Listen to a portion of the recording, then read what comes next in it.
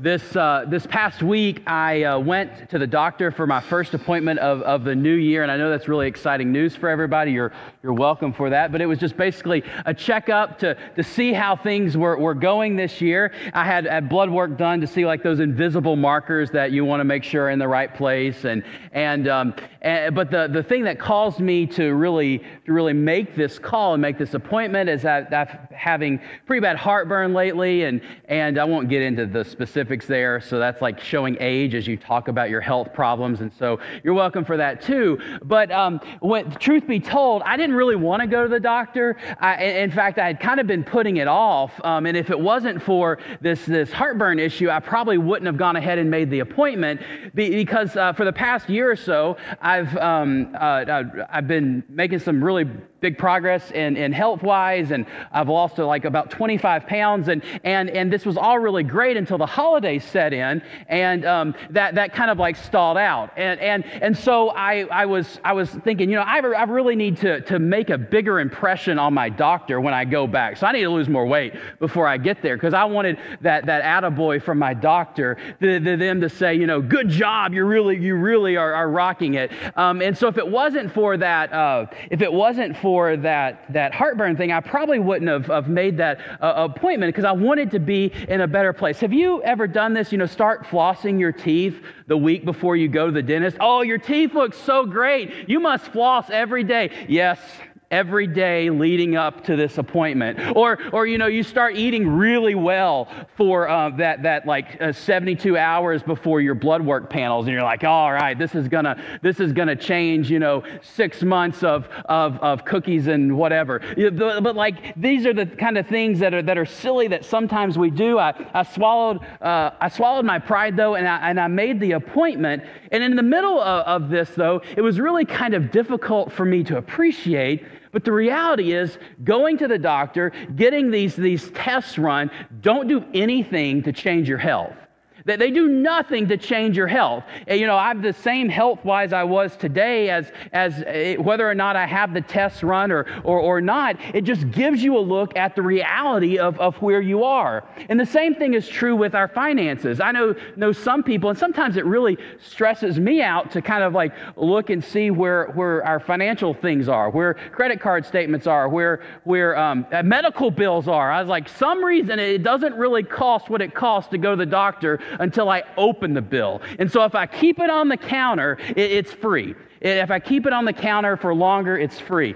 Um, that's not really a good practice, just so you know. Uh, but but it doesn't really change when you have an idea and when you actually take a look at your finances or you go to the doctor. It doesn't really change the underlying reality of what is. It just kind of gives you the information that, that of what that reality looks like. Now, I know um, for some of you that are science minded, and I know just enough about this to really, to, to really get it wrong, but, but I am told that there are certain things that you can observe, and because you observe them, it changes the outcome. So there's that thing that is probably, or that I'm told is true, um, but for the most things in life, whether it's your physical health, or whether it's your finances, or whether it's your spiritual health, taking a look at what's underneath the hood, taking a look at, at, at really where reality is, doesn't do anything to change, doesn't do anything to change what is going on. It just gives you a look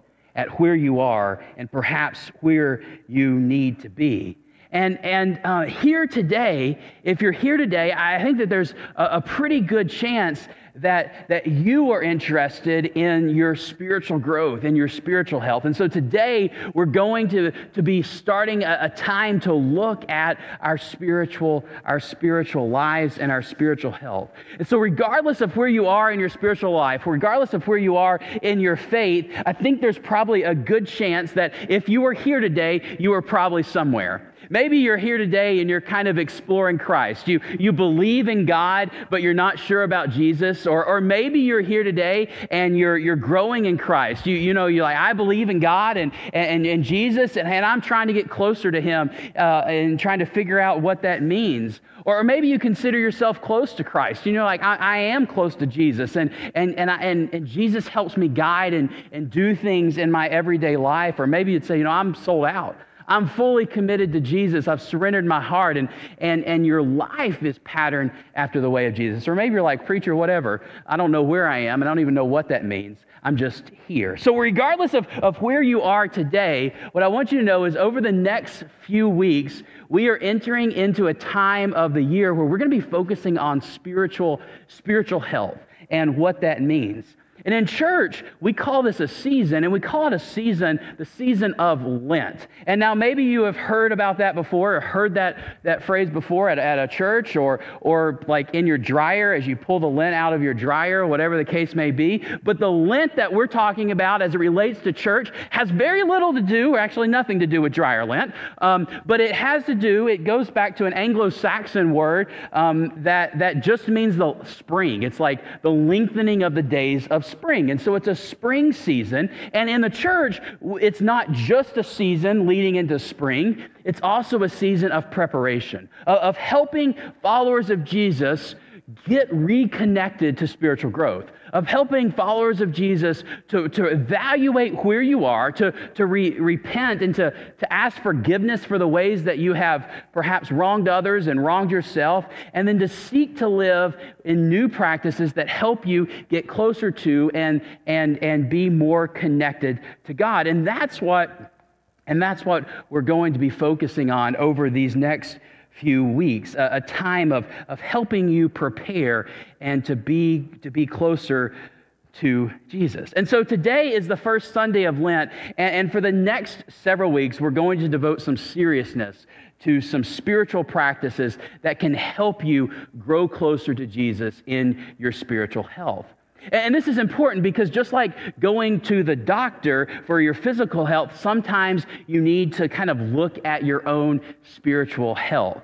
And I don't care how mature your spiritual health is or how immature your spiritual health is, there are times that you struggle. We all struggle at times, where there are always going to be times in your life that you feel far from God, or times that you struggle with, with certain temptations, or times that, that you are less kind or uh, less patient than perhaps you feel that you should be. And it's at these times it's really important to try to figure out where we are and where you are. Even the earliest Christians, those that knew Jesus one to one, they even struggled with this.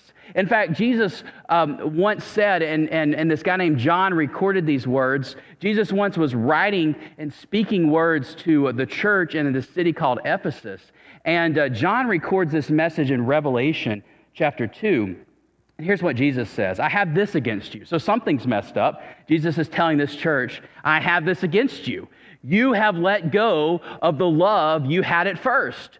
So remember the high point from which you have fallen. Change your hearts and your lives and do the things you did at first. So Jesus is just saying, you know, you once had this great love, you had this great vigor in your faith, but you have lost it. Something is not right, and I want you to return from this. So even the earliest Christians, those that, some of those that knew Jesus one to one or their parents knew Jesus one to one, they, they even needed a spiritual health checkup and reminder of how to continue to grow closer to Jesus. So that's what we're going to focus on over the next several weeks. We're going to explore practices that are central to growing in faith. And today, our first practice that we're going to talk about is worship.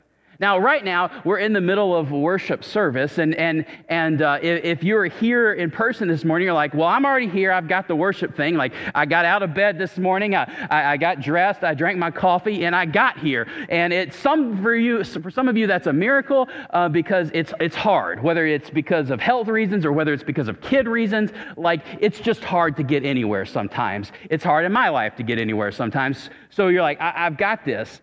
Um, and so today, what I want to do is invite you to think about worship. And we're going to talk about what worship really is. What worship really is. This idea, this English word that we have, um, that we have that this is worship, it's got its roots in an old English word that, that is, uh, uh, that's got a different spelling. It's worthship, like how much something is worth. And so this idea of this idea that we have of worship comes from this word of speaking about worth, worthship. And what it meant in the, the original context was that you're honoring, giving honor and glory to someone who is worthy of honor and glory. So, when you worship God, you acknowledge God's glory, you acknowledge God's power and, and, goodness, and recognize and honor God as God. And here's the other thing when you recognize and honor God as God, you're also recognizing that you are not. That, that you are not God. Even though sometimes we think we are, or we think we're the most important person in the room, or whatever the case may be, when you worship, you recognize that God is God and that you are not. And so, that is what it means to, to basically, in the essence, that's what it means to worship. And how you do that, though, is, is really important. How you worship God is really important. So, what I want to share with you is just a look. The next thing I want to share with you is just a look at how some of the ancient people really worship God. And I want to share with you a really old part of the Bible. It comes from the book of Psalms. And Psalms were, it's kind of like the original songbook for people of faith. And, and the people in ancient Israel, the, these were people that, that God had, had chosen uh, to, to carry God's message into the world, they wrote these Psalms as a way to express faith to God. And, and so, I don't want to share with you some of these worship leaders that's writing these songs. I want to share with you a psalm today, Psalm 95, where I think it really gets to the heart of what worship was and what worship can be. Here we read these words. Come, let's sing out loud to the Lord. Let's raise a joyful shout to the rock of our salvation. Let's come before him with thanks. Let's shout songs of joy to him. The Lord is a great God, the great king over all other gods. The earth's depths are in his hands. The mountain heights belong to him. The sea which he made is, is his, along with the dry land which his own hands formed. Come, let's worship and bow down. Let's kneel before the Lord our Maker. He is our God, and we are the people of his pasture, the sheep of his hands. Here you have an invitation to worship, to come, to sing out loud to the Lord, to sing songs and praise for the goodness of God, to recognize God as creator, and to realize your place as part of that creation. And then there's this posture of prayer that's talked about in this, in this psalm this idea of kneeling down, of being bowed down before God, of kneeling before God. And when I think about worship, this is, is so, so important. This psalm shows that, that worship is about God and not about you. That worship is about God and not about you. Often we get this idea that worship is about our preferences that worship is about the things that, that we like. I, you know, like I really like this song, or, or, I really like this, this thing that we do in worship. I mean, here, even here at Kern Church, we have two different worship services that have two different styles. And, and, and you could probably dig into some of that and say, you know, some of us have a preference for a certain style of worship. Some of us have a preference for a, for a different style of worship. But, but there's, some, you know, there's some nuances to this. But in reality, worship is, is not primarily about you. And, and this is kind of, I think, difficult to, to really, I mean, it's easy to say, but it's kind of difficult to live because we live in a world where everything is about us where every message that we have, that you and I receive, is given to us, designed for us. We live in a world of entertainment where performances are done in a way that, that, are, that are for you. You have ads that are created for you. You have so many different things in your life created for, for you to, to, to enjoy or for you to consume. And worship, a lot of worship seems like entertainment because we have people like in this service, we have people on, on a stage that are leading in song, have me up front talking to you, and whether that's entertaining or not, I don't know. But like, you know, it's it's just it, it it's it's this oh, I got a thumbs up in the back. Y'all are like, I'm not I'm not like paying you extra for that. I, um, anyways, but um, thank you. Uh, you know, it, it's not. It, you know, we have we so there's a lot of similarities I think from what we do in worship to the world of performance and the world of theater. But when it comes to worship, worship is not theater, and the main reason I think this is true is because when it comes to worship, there's an audience of one. There's an audience of one. It doesn't matter how large or how small your church is, there should only ever be an audience of one. And God is the audience of worship. It doesn't matter how large or how small the church is, how many people are in attendance or how many people aren't in attendance. God alone is the one who is uh, the proper audience of worship. Now, sometimes we get this backwards and we start to think that worship is about what makes you feel good or, or might make you, might seem right to you. Sometimes we get this idea that, that, um, that, that, that, that we, that you or the audience, that we are trying to entertain or trying to help something happen there, that, that that's primarily what our purpose is. But when we look at what worship is in the scriptures, it's all about helping people connect to God and helping people worship God God who alone is the audience. And I'll be honest with you, sometimes this is a struggle for me because I have songs I like to sing, I have things that I like to see and worship. Uh, sometimes I'm sure this is a struggle for musicians because usually in, in, in, in music that we are playing music to be entertained to, to, to a larger audience and to try to entertain people. But it all is about blessing God and helping you, other people, bless God as well. So, what does that make you?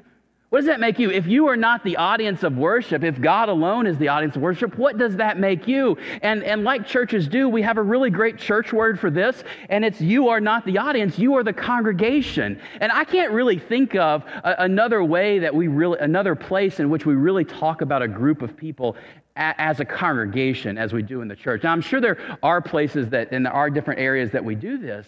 But you are people who are gathered here, who are congregating here to worship God. And so, by being in a congregation, your, your role is not primarily to enjoy worship and to be entertained. Your role is to participate in worship. Your role is to join in the call of Psalm 95, to, to bow down and sing out loud to God and the role of the people up front is to help you do this, to help you connect to, to help you to worship a God who loves you.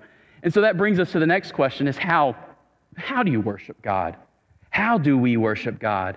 And truth be told, our modern worship practices have evolved from generation to generation. What we do today, people, uh, uh, some people assume that, that what we do today is what has always been done. And people, people will often say, you know, I really like traditional worship and whatever that means, because the traditional worship models that we, we have today um, are, are very different than they were in the time of Jesus. The ways that you and I worship today very different than, than the ways that people worshiped many, many years ago. But there are some core ideas I think that the early people of faith had when it came to worship that still influence how you and I engage in this today. For, for example, we can look at the practice of when we worship. This is an important thing of, of when you and I are supposed to worship. And you might know this, but people of the Jewish faith, they worship on Saturdays. And Jesus was Jewish, and so, so the, the, the, the, followers of Jesus come from, from um, have this straight, this long lineage from Jesus, who was Jewish, to, the, to the, the, the, God's people in relationship with the ancient Israelites who worshiped on a Saturday. And, and, the reason that, that the Jewish people worship on a Saturday is that is, is many reasons, but one of the main reasons goes from the very earliest parts of the Bible, from Genesis chapter 1, where, where we hear the story of how God created everything in six days, and then on the seventh day, God rested and, and set apart one day out of seven to be a day of rest and to be a day of worship. And so a whole community of people built worship practices around what it meant and the rhythms to take one day out of seven to rest. And so this day, the day of rest, is known as the Sabbath. And, and, and for the Jewish people, this is Saturday. There are even some Christian communities who worship on Saturday because they feel that that, that day has, has never really been changed in Scripture. But here's the thing when it comes to Christians most Christians, even though there are some that worship on Saturday, most Christians worship on Sunday.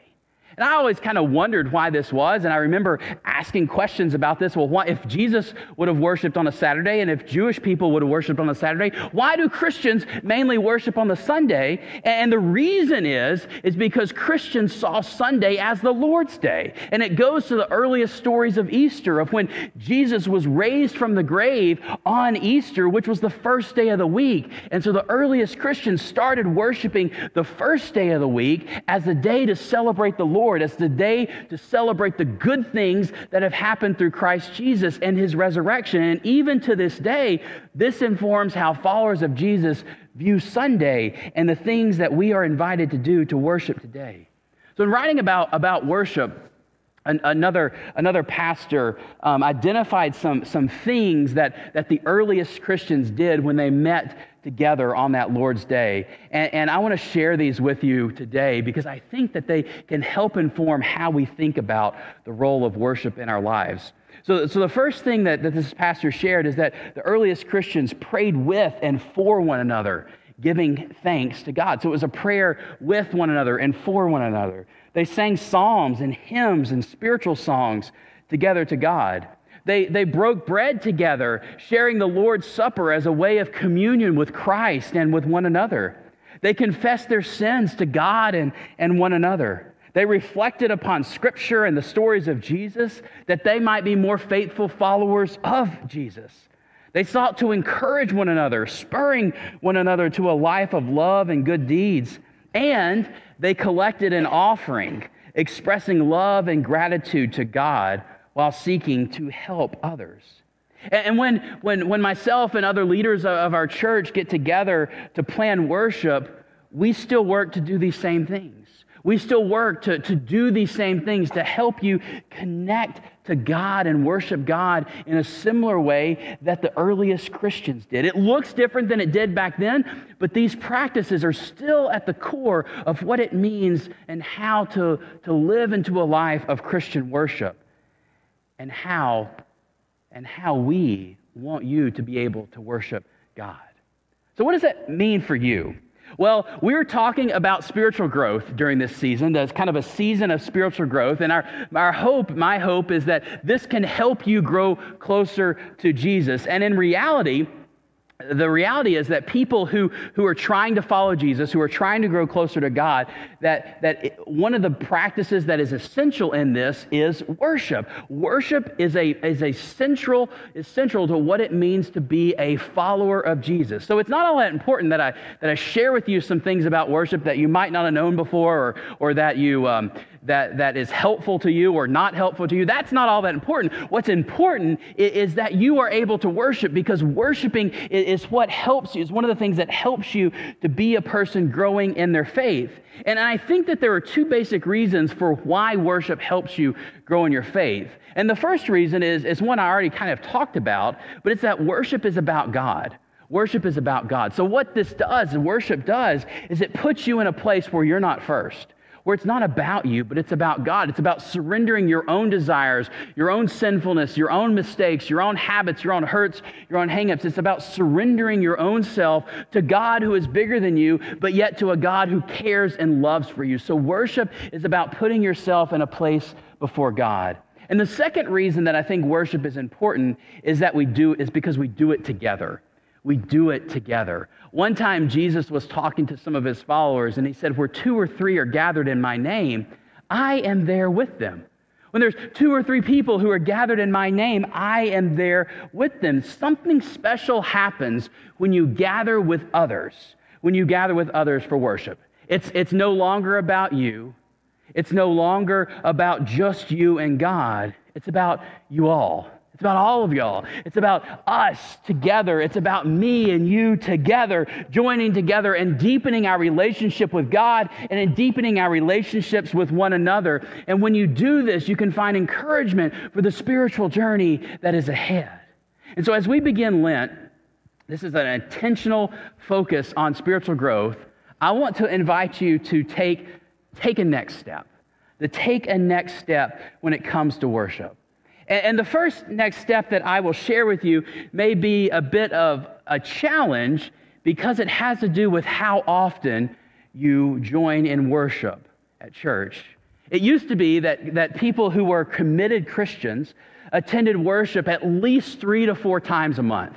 That means that if, if somebody was a follower of Jesus, is committed, that, that they, would, they would pattern their, their lives in being in church three to four Sundays a month. We know, though, that this just isn't the case anymore. That, that, that uh, data about people around the nation, people don't attend worship as much as they used to. And we're not even talking about people who aren't Christians. We're just talking about people who would say that they're committed Christians, that, that people don't attend church as much as they used to. I mean, if you're here in this space today, you can look around and see that, right? Like, there, there, if everybody that attended worship at this service was here, all of these seats would be filled. I mean, these are people that are committed and that are regular. And um, if you're if you're usually here at nine o'clock and you're not here right now, don't hear this as me like calling you out. Um, but it's just the reality of where we are. Because today, people that consider themselves committed followers of Jesus, they may attend worship only like once a month and still consider themselves, still consider themselves as someone who's deeply committed to Jesus. Now, maybe this resonates with you and you see this in your own life and some of your own patterns. And, um, and the reality is, and the reality is, there's a lot that, that, that I won't get into. The reality is, though, that, that I kind of understand this um, because I'm busy too, and I have kids too, and, and we have family to visit too, and we have other kinds of things that are involved, and sometimes we're just like really tired too. And, and so, you know, I, I, there's a lot about this I understand, but there's also, and just being honest with you, a lot about this I don't really understand because of my position as a pastor because I know that, that I have to be here. One, that's like an obligation, but two, like I know that I have to be here because my heart starts to starts to like be more self-centered and and be more like uh, isolated if I'm not. If I'm not in worship on a regular basis, I know that, that things start start devolving in my own heart, in my own life. So I so I have a hard time kind of understanding and relating to this. And I know that, that uh, some might say, well, what about online? And we've got some people that are, that are joining us online this morning. And what I want you to know is that online can be good. It really can be good. It's a way for people to connect who have limited mobility. It's a way for people to connect who are, who are seeking a, a church. It's a way for people to connect when they're sick or when they're traveling. But there is something important. There is something important about being together with other people in worship that cannot be replaced in the digital world, that cannot be replaced by listening to a podcast, that cannot be replaced by watching a recording of worship. So if you're trying to grow in your faith, the question then comes how often should you worship? How often should you be in worship? And, and, I think that the biblical pattern for how often you should be in worship, it, it points to the fact that, that it is every week that it is every weekend. We see this in the, in the whole order of creation of how God created one day out of seven to be a day of rest, to be a day of, of concerning about the spiritual things, to be a day about worshiping God with others. And I also know that this is not always possible. There are times when I travel, there are times when I get sick, and so I, I know and I get it that it is not possible to be in this place every single week. But I think that that's what the biblical model points to. So here's my challenge for you in this new season of Lent. And as I am saying this, I think it's a little bit silly, okay? But my challenge for you between now and Easter is I want to challenge you to, to get an A in worship, okay? Like an A. So like when you when you go to school and, and you you have grades, uh, you get like 90% and above is an A, right? And, and and so a B is like 80 to 90%. Um, that used to be like a different scale when I was in school. But anyways, so, so like 90% to 100% is, is an A. And, and, and so my encouragement to you is to, uh, to achieve a, an A in your worship attendance. I told you it was a little silly. Like I even kind of feel weird saying this. But my, my encouragement for you is to, to achieve an A in, in worship, 90% uh, in worship attendance between now and Easter. Worshiping online can, can still count if that's, if that's needed in your life. And if you're traveling for, for spring break like I am, worshiping online or, or worshiping at a different church, uh, wherever you are, that definitely counts as well. So, so, so, give that, so give that to yourself. But here's the breakdown. On a yearly basis, on a yearly basis, to get a 90% in attendance, that means missing no, no more than five Sundays a week in worship. Well, five Sundays a week. Oh, yeah, thank you. A year, right, a week. There's a lot of Sundays in a week. but a, a year. So that means missing no more than five Sundays uh, uh, uh, uh a week, a year, a year. But here's the other way of looking at that. That's a month. You can slop around for a whole month and still get an A.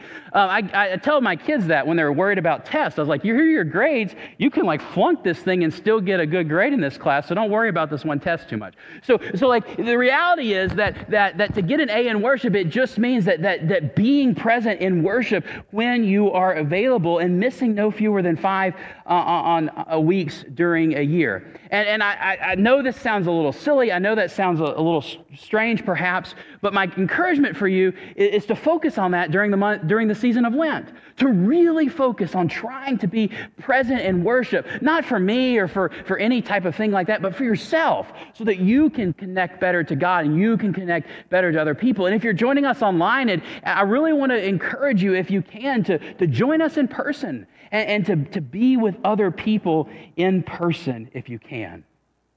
So, the first step in your spiritual growth, the first next step, is to encourage you to get an A in worship. And the next thing that I want to share with you, the next step, recognizes that there is more to worship than just worshiping on Sundays.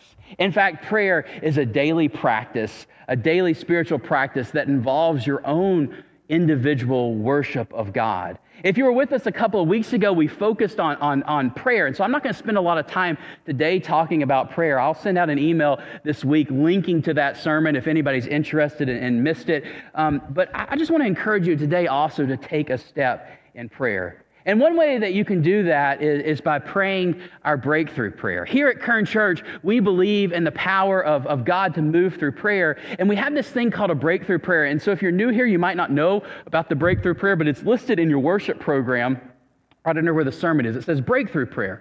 And, and, and this is a prayer that, that we join together to pray for God to do new things in our lives, in our church, in our communities.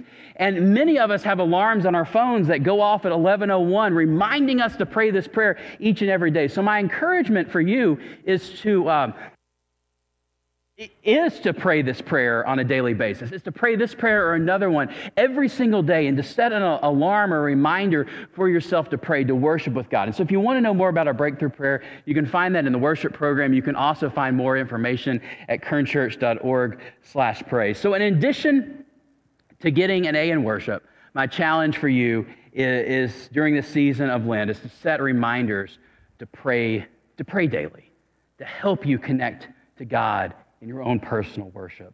So, if you're ready to work, to, to, to, focus, if you're ready to focus on growing in your faith during this season of Lent, I want to invite you, I want to invite you to worship. Are you ready to put God first? Are you ready to worship God? And are you ready to grow and to take a step in growing in your faith over these next several weeks? So, right now, I want to say a word of prayer encouraging you and then we're going to sing a, a, worship song together. And as we sing that song together, please know that you're invited. If you want to come forward and pray at the kneeling rail, you're invited to do so. You're invited to pray right where you are, just asking God to help you grow in your faith, asking God to, to see, to see how you can take those next steps to Christ. Let's pray. God, I thank you. I, I, I thank you for, for not allowing everything to be a mystery I thank you that when things get difficult and, and things seem a little strange, that, that sometimes you can give us just some simple steps that, that we can take to come back to you. And so this day I ask that you help, help each one who is here to worship you. To worship you as we conclude this worship service and sing this final song, but also to make a point and a commitment to worship you worship you throughout this season of Lent so that we can and they can see see you moving in their hearts and their lives.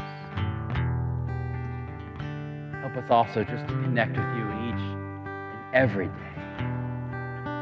Through Jesus Christ our Lord.